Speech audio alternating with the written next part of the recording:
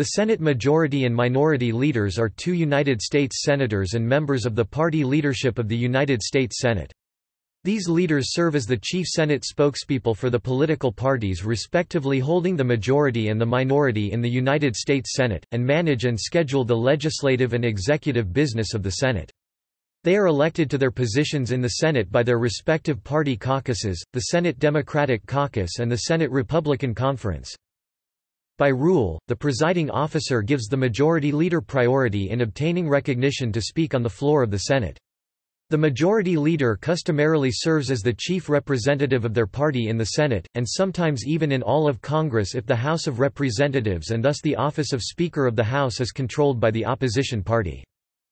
The assistant majority and minority leaders of the United States Senate commonly called Senate Majority and Minority Whips are the second-ranking members of each party's leadership. The main function of the majority and minority whips is to gather votes on major issues. Because they are the second-ranking members of the Senate, if there is no floor leader present, the whip may become acting floor leader. Before 1969, the official titles were Majority Whip and Minority Whip.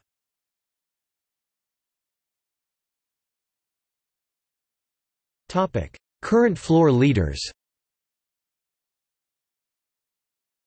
The Senate is currently composed of 51 Republicans, 47 Democrats, and two independents, both of whom caucus with the Democrats.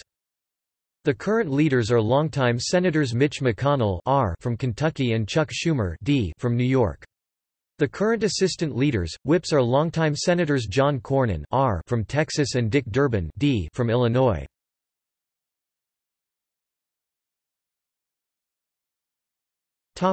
History Democrats began the practice of electing floor leaders in 1920 while they were in the minority. John W. Kern was a Democratic senator from Indiana. While the title was not official, he is considered to be the first Senate party leader from 1913 through 1917 and in turn, the first Senate Democratic leader, while serving concurrently as chairman of the Senate Democratic Caucus. In 1925 the majority at the time Republicans also adopted this language when Charles Curtis became the first official majority leader, although his immediate predecessor Henry Cabot Lodge is considered the first unofficial Senate majority leader. The Constitution designates the Vice President of the United States as President of the United States Senate. The Constitution also calls for a president pro tempore to serve as the leader of the body when the President of the Senate the Vice President is absent. In practice, neither the vice president nor the president pro tempore customarily the most senior longest-serving senator in the majority party actually presides over the Senate on a daily basis, that task is given to junior senators of the majority party. Since the vice president may be of a different party than the majority and is not a member subject to discipline, the rules of procedure of the Senate give the presiding officer very little power and none beyond the presiding role. For these reasons, it is the majority leader who, in practice, manages the Senate. This is in contrast to the House of Representatives where the elected Speaker of the House has a great deal of discretionary power and generally presides over votes on bills.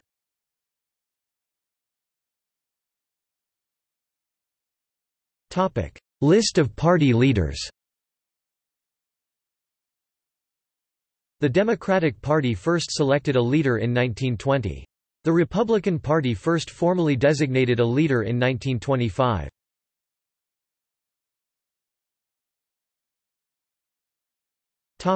See also. Party leaders of the United States House of Representatives. President pro tempore of the United States Senate. Vice President of the United States President of the United States Senate Party divisions of United States Congresses List of political parties in the United States.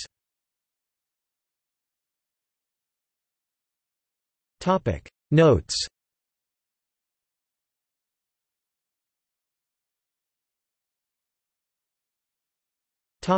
External links Majority and minority leaders and party whips, via Senate. Gov Republican majority Democratic minority